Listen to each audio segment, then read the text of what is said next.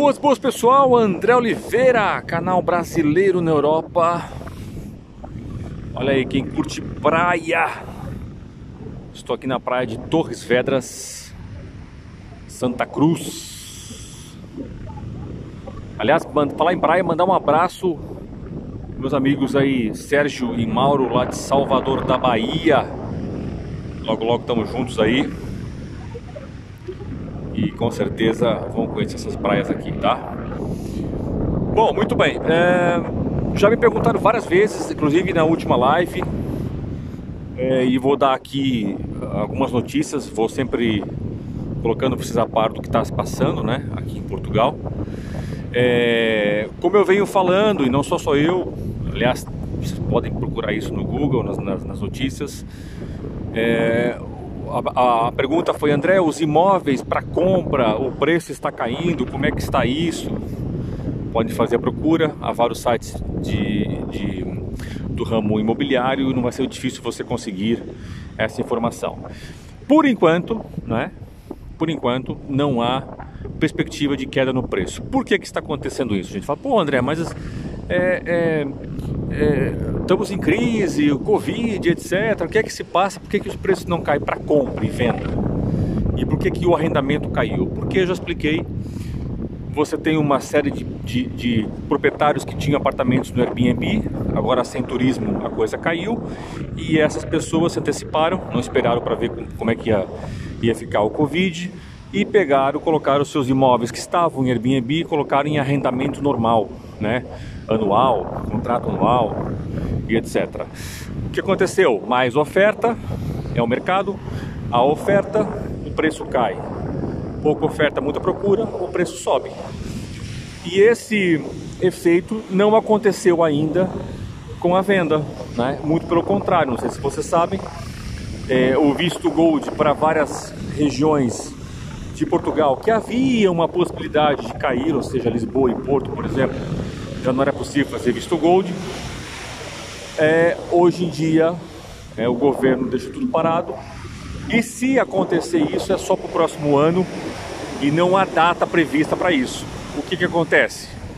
Você tem de novo é, pessoas do mundo inteiro interessadas em comprar aqui em Portugal, porque a verdade é a seguinte, meus amigos, Covid ou não Covid, Portugal nos últimos, sei lá, três ou quatro anos adquiriu um estatuto de porque saiu em várias revistas no mundo inteiro. Aliás, a Forbes agora fez uma reportagem muito grande sobre pós-Covid. Não sei se você viu, escreve Forbes Portugal, vai aparecer a, a notícia. Fez uma, uma reportagem falando que pós-Covid, Portugal é um dos melhores países do mundo para você viver. Então, imagina só, nos últimos três anos, várias revistas no mundo inteiro andaram falando que Portugal era top, top, top para você viver, para você passar férias, para você fazer turismo. Então, o que, que vai acontecer? Não vai cair assim tanto, porque as pessoas vão continuar procurando as qualidades de Portugal, como boa praia, olha só, boa praia, boa comida, as pessoas são gentis, é, você tem um país pequeno que você consegue ter, como já falei aqui, você consegue ter num dia só, em maio, por exemplo, você consegue de manhã esquiar na Serra da Estrela. À tarde você pode passar por Lisboa, fazer uma prainha e à noite também fechar a sua, a sua tarde e noite no Algarve, pegando uma praia. Isso os ingleses não têm, os franceses não têm. Então, essas, é, é, esses países, essas pessoas continuam interessadas em Portugal. Então, os preços para compra não vão desabar assim. Até acredito que possa, se a crise for um pouquinho mais profunda, vamos ver como é que isso vai resultar. Até pode ser que baixe um pouquinho, mas não vai ser a queda que vem acontecendo com, com o arrendamento, tá? Então, tenha atenção a isso. Por isso, é, é, o mercado de Portugal continua, claro, não está aquecido como antes, mas continua aquecido. Por outro lado, é, para quem pensa em investir aqui em Portugal, continua interessante porque vai continuar com interesse para quem quiser comprar para arrendar, por exemplo. Enfim, eu acho que É, nós estamos com uma moeda, uma moeda é, forte, né? Um, um, continente que tem um, uma estabilidade política. Infelizmente, diferente do Brasil, que esse momento passa por um momento político muito complicado. É, e aliás, eu acho que todos os meses, não vou dizer que toda semana, mas sei lá, duas vezes por mês, uma vez por mês, eu tenho brasileiros que me contactam tentando vender coisas do Brasil aqui, né? É normal, natural, acho até interessante. E perguntam se os portugueses não querem comprar coisas no Brasil, não é? Terrenos ou casas e tal. O que acontece? A imagem que infelizmente o Brasil nesse momento passa é de um, um país muito instável politicamente. Então, você investidor, é muito complicado você investir num país tão instável. Você não sabe o que vai acontecer amanhã. Você coloca, mesmo que seja um milhão de reais, ou meio milhão, ou dois milhões. E estou falando de investidores altos, né?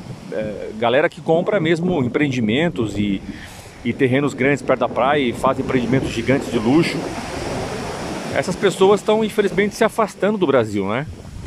E, e aqui é o contrário, né? A Europa acaba por ter uma, uma política mais estável há muitos anos isso ajuda com que é, haja mais investimentos, mesmo agora, nesse momento da crise. Sem dúvida, não, é inegável que, claro, vai rolar uma crise aqui.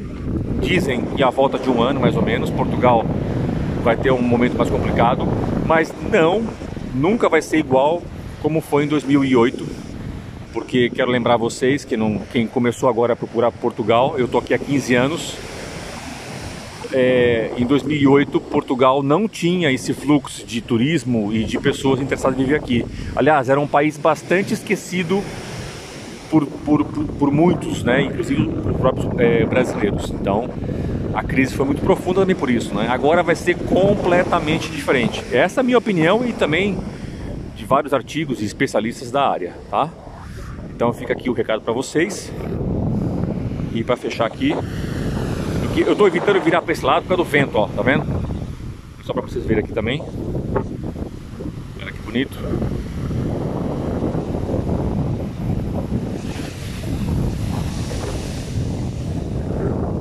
Show de bola, né?